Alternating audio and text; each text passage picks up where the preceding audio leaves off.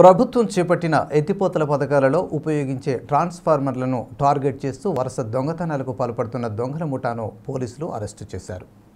వీరి వద్ద నుండి మూడు వందల కిలోల కాఫర్ వైరును స్వాధీనపరుచుకున్నట్లు దీని విలువ సుమారు ఒక లక్ష ఎనభై వేల రూపాయల వరకు ఉంటుందని స్థానిక సిఐ సాయి రమణ తెలిపారు. భూపాలపల్లి జిల్లా చిట్యాల మండల కేంద్రంలోని జడల్పేట గ్రామంలో పోలీసులు వాహనాలు తనిఖీ చేస్తుండగా అనుమానంగా కనపడిన పర్దం సమ్మయ్య టేకు లింగయ్య మౌటం రాజు మోతె కనకయ్యలను అదుపులోకి తీసుకున్నట్లు సిఐ పేర్కొన్నారు.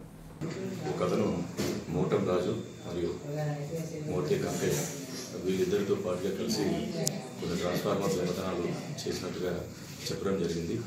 అయితే దీంట్లో ఈ మోతరాజు అండ్ కనకయ్య ఇద్దరు కూడా ప్రీవియస్ జైపూర్ ఏరియాలో మంచిర్యాల జిల్లాలో దొంగతనం కేసులో ఈ ట్రాన్స్ఫార్మర్ పగలగొట్టి కాపర్ వైర్ దొంగిలించినటువంటి కేసులో వీళ్ళు అరెస్ట్ అయ్యి ప్రస్తుతం వాళ్ళిద్దరూ జైల్లో ఉన్నారు.